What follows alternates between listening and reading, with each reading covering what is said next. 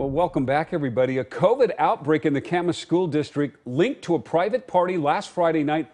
13 Camas High students have now tested positive. Our Lisa Balick is following this story. Lisa joins us live now. So the school district will keep the high school closed tomorrow for a second day, is what we understand. Can you tell us more? Yeah, exactly. The first two cases were identified on Monday, and since then the numbers have grown clearly. Now they are reaching out, the county that is, to other teens in the area who are also at that party. Meanwhile, it has put a big dent on back to school at Camas High this week.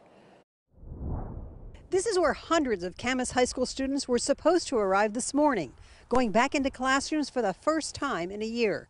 Junior Sydney Moultram was one of them. I was a little disappointed disappointed to get a school email saying back to school and all activities are suddenly postponed. The district facing a COVID outbreak among students. 13 confirmed cases, the county tells me, that started appearing this week.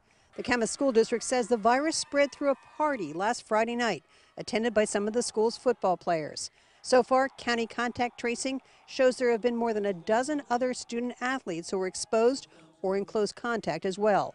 They're asked to quarantine, and those who tested positive are in isolation. Half the school students were back for the first time in person Monday and Tuesday.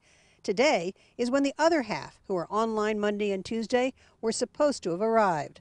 All Camas High extracurricular sports practices and games now are also postponed through the weekend, including the Camas football game tomorrow night against Battleground. It's an effort to stem the outbreak. Some hope it's a lesson learned. I think we just have to move on and forgive and focus on not making that same mistake again.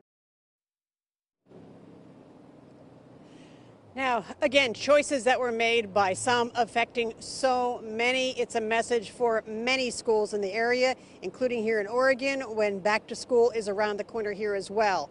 Now, one other thing, too, they say, look, if you know of anybody who was at that party, please contact Clark County Health. They're trying to connect the dots to make sure they can contain this outbreak. Lisa Balick, KOIN 6 News.